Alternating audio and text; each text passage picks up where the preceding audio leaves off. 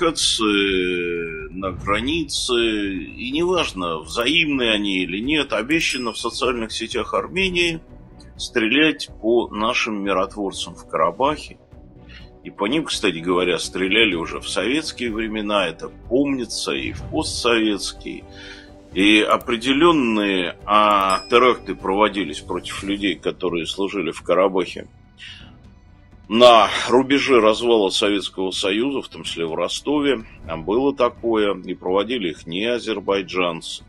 А дальше можно вспоминать хоть взрывы в московском метро 70-х годов. Надо просто понимать. Мы можем э, любить э, армян или любить азербайджанцев.